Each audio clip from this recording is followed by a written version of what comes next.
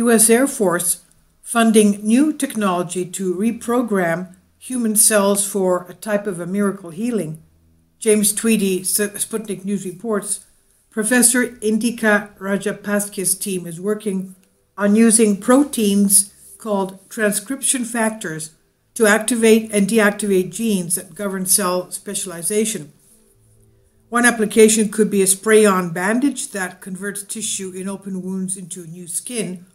The U.S. Air Force is working with scientists at the University of Michigan on a new space aged healing technology that involves retooling cells at the genetic level.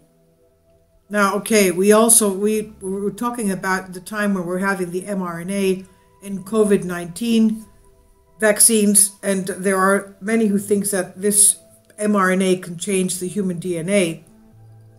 But these these, these uh, scientists here are saying that yes, this technology will deactivate genes to change them.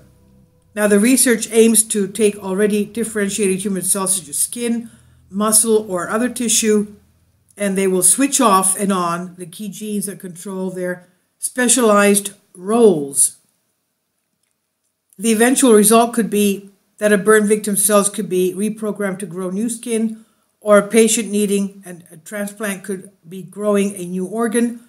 Normal healing of battlefield injuries could be sped up by a factor of five, according to the researchers. Please support my Patreon channel since YouTube has again demonetized my YouTube channel.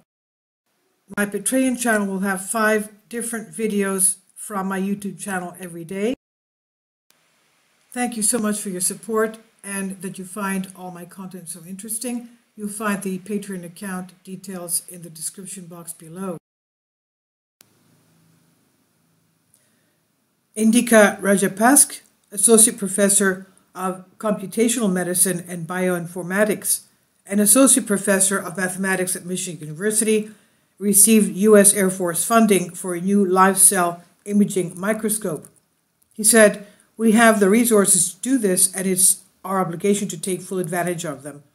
In cellular reprogramming, transcription factors, proteins that control the expression of genes, are used to change an individual cell's fate or ultimately place a role, play a role in the uh, complex system of the human organism the U.S. Air Force has also funded work on improving a complex computer algorithm to help Rajapakse's team identify useful transcription factors.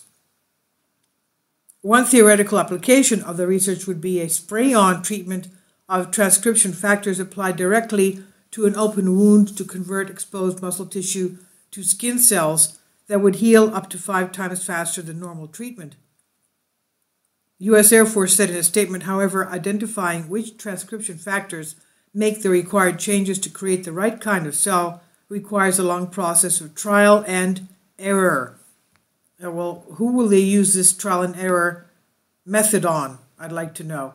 This is by James Tweedle on Sputnik News.